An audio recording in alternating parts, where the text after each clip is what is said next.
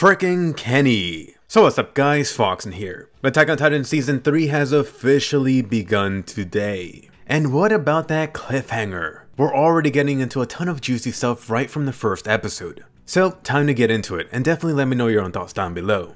Really quickly, let me mention that this review will be spoiler free. I'm still debating about whether to keep these reviews without any spoilers. Post down below which you would prefer. Anyway, let's go ahead and get started. First off, in the first opening scene, you see this older Eren looking out into the sky. What could he be looking at? Of course, from the early previews, this was already given away. The question at the time was, and still is now, was this giving too much away? I seen a ton of people just thinking this was Eren just having a crazy dream again. I actually think that's a good way of looking at it. Just starting season 3 with this scene right here is actually a good enough tease for things to come. Next up, how about that new opening for Attack on Titan Season 3? You know, the thing that everyone has been waiting for. So go ahead and tell me down below, did you love it or did you think something else? Let me mention that I do plan to have my own video completely on this opening, but let me go ahead and mention a few quick thoughts. And with that, perhaps I'm gonna have the unpopular opinion here. It's different. Totally different if you compare it to the first and third opening. As soon as I saw this new opening, I could already tell people were gonna mix on this, since the last two openings I mentioned were super iconic. On top of that, this opening is much different, it's much calmer. I actually did hear the preview a few days ago, and I was thinking this was just gonna suck really hard.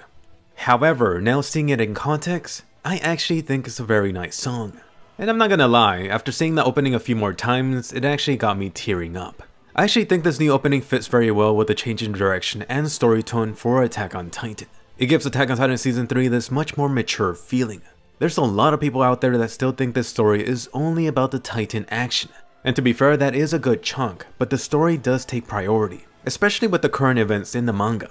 But anyway, how about the visuals? From here, there's a lot of good things to love. I love seeing the young little Levi and also Kenny. Also, we got Mr. Badass Erwin too, we got glimpses of both of their past.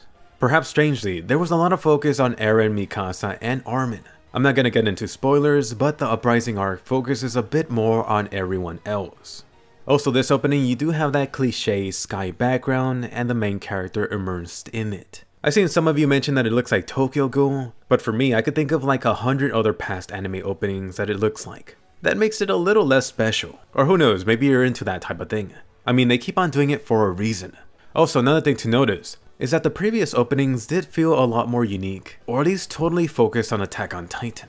From this opening, it felt a little bit more generic. Like if I saw this opening, I wouldn't expect to see Titans anywhere in this story. I would especially not expect to find any gore or blood or any of that stuff. And who knows, perhaps that's a good thing.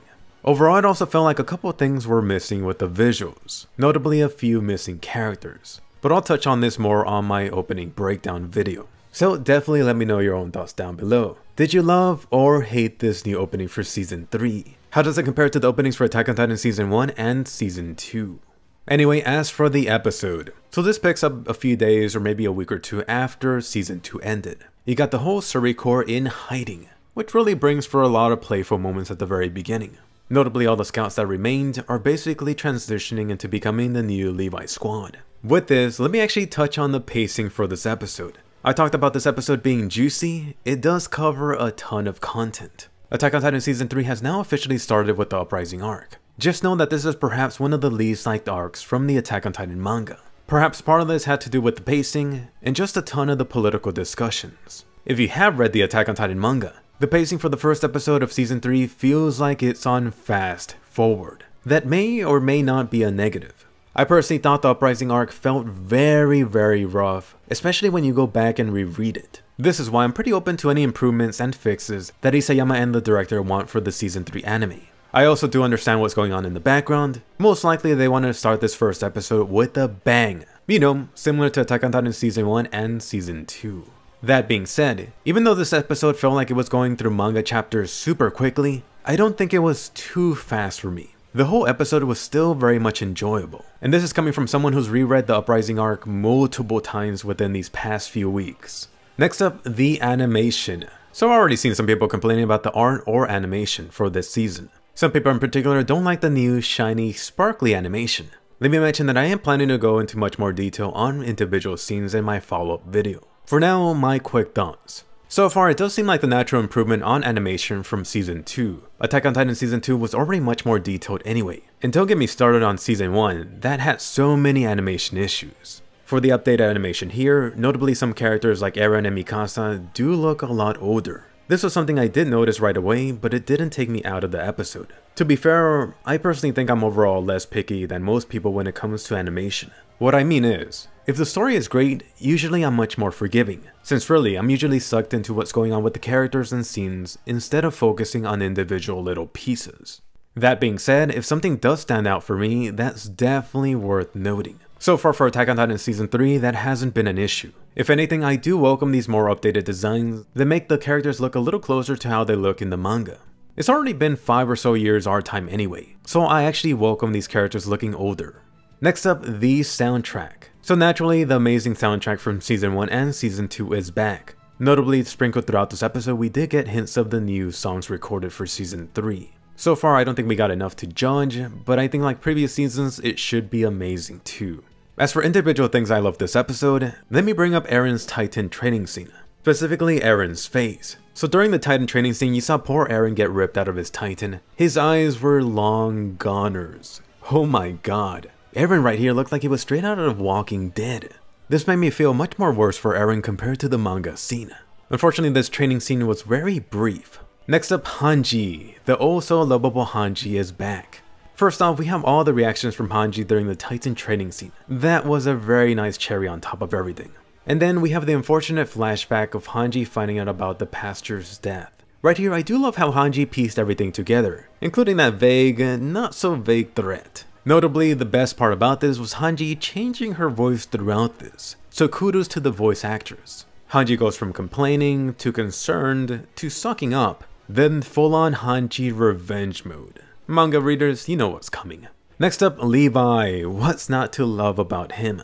Specifically, the scene I want to focus on is him breaking the silence in that heavy moment when they were talking about the pastor's death by drinking his tea anyway. It was a little detail, but it does add a lot. I mean, think about it. Levi has already seen a ton of crap throughout his lifetime, so these events are just really another day for him. Yeah, just think back to the No Regrets OVA. Next up, we have Mikasa and Levi's little scene here on top of the roof. So I'm glad to see them having this little bonding moment. You see Mikasa feeling bad about her past screw up during the female titan arc. This and all is adding to Mikasa's character, and also really bringing back some of her thoughts about the screw up she did, which did handicap Levi in season 2. Notably, a lot of these thoughts were some of the stuff that was supposed to be in season 1, but unfortunately it got cut from the anime. Next up, one of the things I loved, but also kind of hated. So we have Best Girl Armin this episode. Okay, so when I saw this at Anime Expo, some people were laughing. However, I felt really bad the first time watching this. I think it made it worse just picturing if Historia was actually in that place instead of Armin. And I guess it's not much different anyway, since Armin is a small dude anyway. And even now, honestly, just watching this again, it did make me feel like throwing up a little bit. This type of stuff just disgusts me to no end. But let me know, maybe you're different. Did you find this funny or disgusting? Next up, Nifa. So we're getting much more of this redhead in the anime version, but I did feel a lot more for Nifa, since it felt like she got a tad more fleshed out in the anime series. I guess animation and an actual voice to the character makes a world of difference. She got even more screen time when stalking Erwin. I don't think that was in the manga. Unfortunately, the poor redhead is out. Next up, in general, I really like that this episode had a lot more things fleshed out compared to the manga version. It really feels like there's more connective tissue between scenes. One example is that early shot of Pastor Nick before his death. In the manga, for example, Hanji just brings that up way later. As for the Eren and Historia scene, I really did like seeing this little exchange between Eren and Historia that got moved up in the anime version. Right here, it feels pretty natural. And it gives some development to both Eren, and in the process, Historia is opening up and trying to find herself, which Historia really needs the help right now. She's pretty much lost as to who she is right now. Oh yes, and then Kenny. You've already seen this shot from the trailer, but it doesn't make it any less special seeing it in the episode. Right here, I really got the sense of danger here, and I know what fricking happens next. For Kenny himself, I am loving Kenny's voice, and just the little mannerisms and way of speaking. If you know Kenny, he's a total troll. So far his voice actor has definitely captured that perfectly. I'm really hoping they do add more Kenny scenes or more Kenny dialogue. By the way, this whole ending scene or cliffhanger was the best scene from the episode for me. Just seeing the whole 20 or so Kenny squad members in the air, the whole situation seems completely hopeless. Anyway, as for some negatives or nitpicks. First off, this episode is way too short. Attack on Titan should be like an hour every week. One of the things that did suck was no ending this episode. Right now, I can't wait to see what spoilers or teases they give us for some of the stuff going on in the manga right now. You know, like the ending from season 2.